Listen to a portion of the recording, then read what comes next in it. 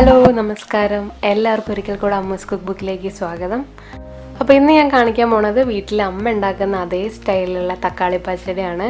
അപ്പോൾ തക്കാളി പച്ചടി ഞാൻ വേറെ എവിടെ നിന്നും കഴിച്ചിട്ടില്ല. അപ്പോൾ ഹസ്ബൻഡിന്റെ വീട് തൃശ്ശൂരാണ്. അപ്പോൾ ആ ഭാഗത്തൊന്നും ഈ തക്കാളി പച്ചടി ഞാൻ എവിടെ നിന്നും ഞാൻ കഴിച്ചിട്ടില്ല.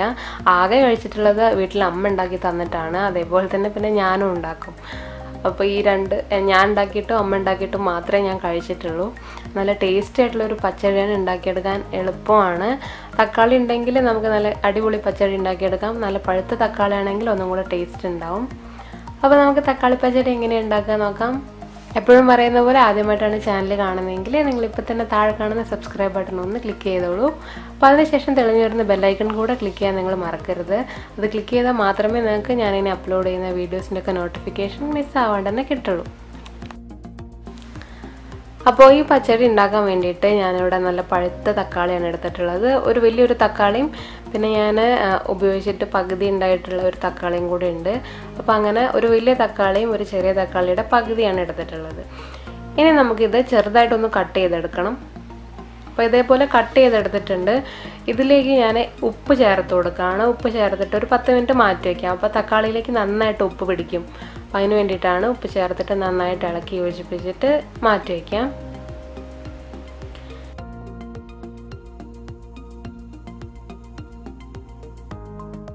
ഇനി നമുക്ക് തക്കാളി പച്ചടിയിലേക്കുള്ള അരപ്പ് തയ്യാറാക്കാം. അതിന് വേണ്ടിയിട്ട് ഒരു മിക്സിയുടെ ജാർ എടുക്കാം. അതിലേക്ക് ഒരു അരക്കപ്പ് തേങ്ങ ഇട്ട് കൊടുക്കുകയാണ്. ശകലം കൂടെ ഇട്ട് കൊടുക്കുകയാണ്. ഒരു മുക്കാൽ കപ്പ് തേങ്ങ എന്ന് പറയാം. പിന്നെ ഇതിലേക്ക് രണ്ട് പച്ചമുളക് ശകലം കറിവേപ്പില. പച്ചമുളക് നിങ്ങൾക്ക് എരിവനുസരിച്ചിട്ട് വേണമെങ്കിൽ ഒരെണ്ണം കൂടെ എടുക്കണമെങ്കിൽ എടുക്കാം കേട്ടോ. പച്ചമുളക് അല്ലെങ്കിൽ വറ്റൽമുളക് ഉപയോഗിക്കാം. അപ്പോൾ കളറിനൊരു വ്യത്യാസം വരുമെന്ന് മാത്രമേ ഉള്ളൂ. പക്ഷേ ടേസ്റ്റൊക്കെ നല്ല അടിപൊളി തന്നെ ആയിരിക്കും എന്നിട്ട് രണ്ട് ടേബിൾ സ്പൂൺ തൈരും കൂടെ ചേർത്തിട്ട് ആദ്യം ഇത് മാത്രമായിട്ട് ഒന്ന് അരച്ചെടുക്കുകയാണ് അപ്പോൾ ഇപ്പോൾ അരയ്ക്കുമ്പോൾ ഇനി വെള്ളമൊന്നും ചേർക്കണ്ട. നമുക്കിതൊരു മുക്കാൽ ഭാഗത്തോളം ഒന്ന് അരച്ചെടുക്കാം ഇപ്പം തന്നെ. പിന്നെ നമുക്ക് കടുകാണ് ചേർക്കാനുള്ളത്. ഇപ്പോൾ തേങ്ങയും തൈരും പച്ചമുളകും കറിവേപ്പിലയും ഒക്കെ കൂടെ നന്നായിട്ടൊന്ന് അരച്ചെടുത്തിട്ടുണ്ട്. നല്ലോണം അരഞ്ഞു വന്നിട്ടുണ്ട്. ഇനി ഇതിലേക്ക് കടുക് ഒന്ന് ചേർത്ത് കൊടുക്കാം. ഒരു അര ടീസ്പൂൺ ഒരു കാൽ ടീസ്പൂൺ വരെയൊക്കെ കടുക് ചേർത്ത് കൊടുക്കാം. എന്നിട്ട് ഇനിയിപ്പോൾ കടുക് ചേർത്ത് കഴിഞ്ഞാൽ ഒരുപാട് അരയേണ്ട ആവശ്യമില്ല. ജസ്റ്റ് ഒന്ന് ഒതുക്കിയെടുത്താൽ മതി. ഇനി അതൊന്ന് ഒതുക്കിയെടുത്തിട്ട് കാണിക്കാം. അപ്പോൾ ഇതാ നമ്മുടെ അരപ്പ് റെഡി ആയിട്ടുണ്ട്. കടുവൊന്നും ഒരുപാട് അരഞ്ഞു പോയിട്ടില്ല. നല്ല പാകത്തിന് തന്നെയാണ്. ഒന്ന് ഒതുക്കിയെടുത്തതേ ഉള്ളൂ. അപ്പോൾ തക്കാളി പച്ചടിയിലേക്കുള്ള അരപ്പും റെഡി ആയിട്ടുണ്ട്. ഇനി നമ്മൾ നേരത്തെ ഉപ്പിട്ടിട്ട് ഇളക്കി വെച്ചിട്ടുള്ള തക്കാളി ഒന്ന് നോക്കാം.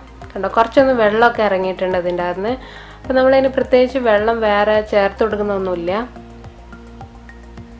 ഈ അരപ്പ് ഇതിലേക്ക് ചേർത്ത് കൊടുക്കാം.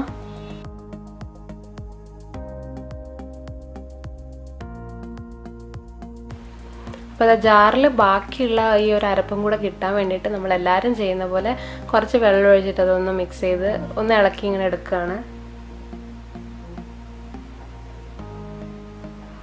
അതും കൂടെ ഇതിലേക്ക് ചേർത്ത് കൊടുക്കാം. എന്നിട്ട് നന്നായിട്ടൊന്ന് ഇളക്കി യോജിപ്പിക്കാം. ഇനി ഇതിലേക്ക് നമുക്ക് വീണ്ടും തൈര് ചേർത്ത് കൊടുക്കാം. ഒരു രണ്ട് ടേബിൾ സ്പൂൺ കൂടെ തൈര് ചേർത്ത് കൊടുക്കാം.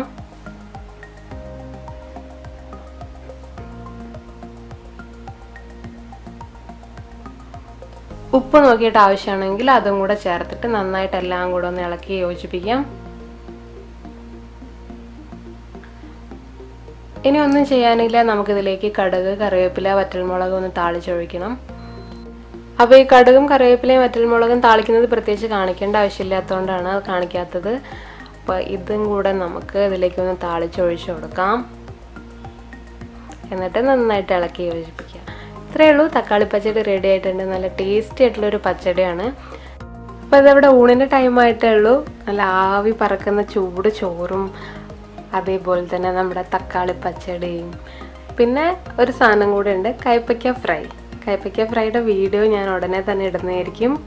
ഇതൊരു സ്പെഷ്യൽ ഫ്രൈ ആണ്. നമുക്ക് എളുപ്പത്തിൽ ഉണ്ടാക്കിയെടുക്കാൻ നല്ല ടേസ്റ്റി ആയിട്ടുള്ള ഒന്നാണ്. അപ്പോൾ അതിന്റെ വീഡിയോ ഞാൻ ഇടാം. പിന്നെ ഉള്ളത് നാരങ്ങ അച്ചാർ അതിന്റെ വീഡിയോ ഞാൻ ഇടാം. അപ്പോൾ ഇത്രയും സാധനങ്ങളാണ് ഇന്നത്തെ ഊണിന്. പിന്നെ നെല്ലിക്ക പച്ചടി കാണിച്ചിട്ടുണ്ട്. കുമ്പളങ്ങ പച്ചടി മാങ്ങ പച്ചടി അങ്ങനെ രണ്ട് മൂന്ന് പച്ചടി റെസിപ്പി വേറെയും കാണിച്ചിട്ടുണ്ട്. കാണാത്തവരതൊന്നും കൂടെ കണ്ടു നോക്കുക. അപ്പോൾ തക്കാളി പച്ചടി ട്രൈ ചെയ്ത് നോക്കിയിട്ട് അഭിപ്രായം അറിയിക്കാൻ മറക്കരുത്. വീഡിയോ ഇഷ്ടമായിട്ടുണ്ടെങ്കിൽ ലൈക്ക് ചെയ്യുക. അൺലൈക്ക് ചെയ്തോളൂ. പക്ഷേ നിങ്ങൾ അതിന്റെ കാരണം കൂടെ കമന്റിലൊന്ന് അറിയിക്കുക. പിന്നെ നിങ്ങളുടെ അഭിപ്രായങ്ങൾ കമന്റ് ചെയ്തിട്ടും കൂടെ അറിയിക്കുക. അപ്പോൾ നമുക്ക് വേറെ റെസിപ്പീസായിട്ട് വീണ്ടും കാണാം. ബൈ